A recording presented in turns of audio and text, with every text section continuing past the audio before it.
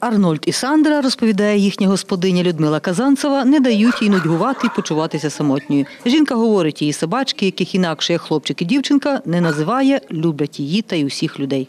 Веселые, добрые. Веселі, добрі, але тут як виховаєш? Вони в мене виховані в любові. Я всіх люблю, і собаки мої всіх люблять.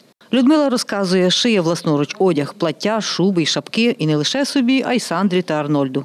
Я стараюсь так, я в черном, она в черном. Я стараюся так. Я в чорному, вона в чорному. Я в вишиванці, вона в вишиванці. Я в чорнобурці і в неї чорнобуркова шуба є. У Сандри чималий гардероб, крім шубок, це з десяток суконь.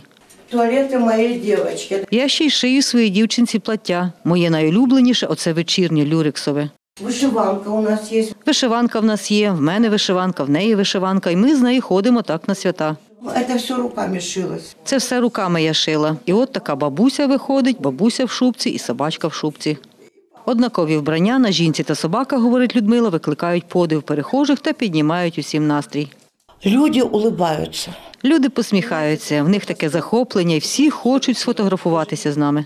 Собачки, каже їхня власниця, не вимагають особливого догляду.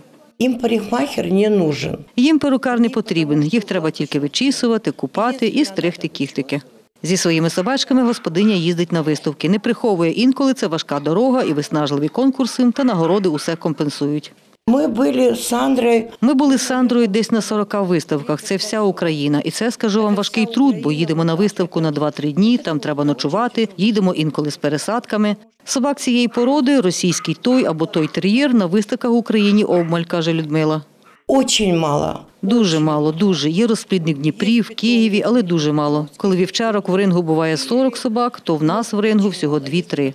Медалей з виставок у собак Людмили Казанцевої чимало. А в 18-му році вона особисто отримала нагороду як найстарший хендлер, тобто фахівець, який повністю готує собак до виставок та супроводжує їх, чим встановила рекорд України. Весело мы живем. Весело ми живемо. Людмила каже, шкодує, що в 2020 році брати участь у виставках завадив карантин і сподівається, що в поточному році хоча б раз зможе виїхати на всеукраїнський захід. Світлана Поробок, Іван Мовчан. Новини на Суспільному. Хмельницький.